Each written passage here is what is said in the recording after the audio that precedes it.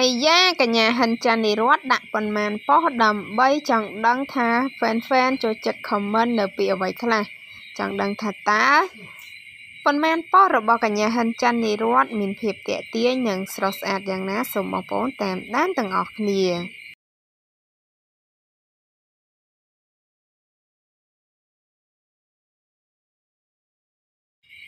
ចាកាលពី6ម៉ោងកន្លងផុតទៅកញ្ញាហិនចាន់នីរតបានបង្ហោះរូបភាពជាច្រើនសន្លឹកស្រស់ស្អាតហើយបានអមជាមួយសារបែបនេះថា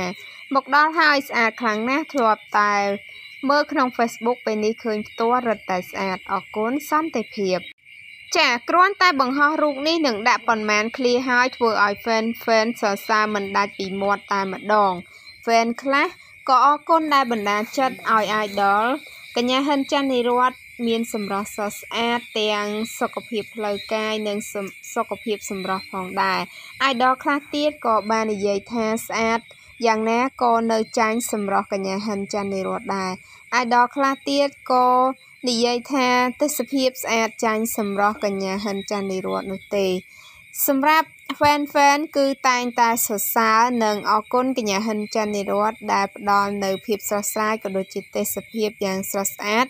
ដល់ fan fan ទាំងអស់គ្នាផងដែរចាហើយក៏នៅមាន fan មួយចំនួនទៀតចាប់អារម្មណ៍ខ្លាំងនឹងការ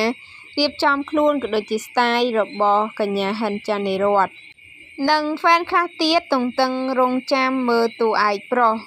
ដោយ fan បានលើកឡើងថាតួឯកស្រីបង្ហាញខ្លួនហើយចុះមិនដេចឡើយទុកតួឯកប្រុសឲ្យនៅទីណាចាសម្រាប់ចម្ងល់មួយនេះធ្វើឲ្យ fan fan ទាំងអស់ដែលជា idol របស់កញ្ញានឹងទន្ទឹងរង់ចាំថាតើម្នាក់ណាគឺជាម្ចាស់បេះដូង